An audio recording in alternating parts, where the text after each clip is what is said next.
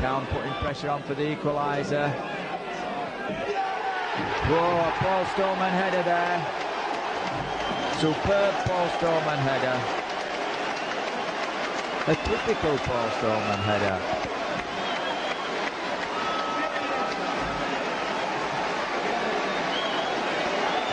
That was a Peter Butler cross.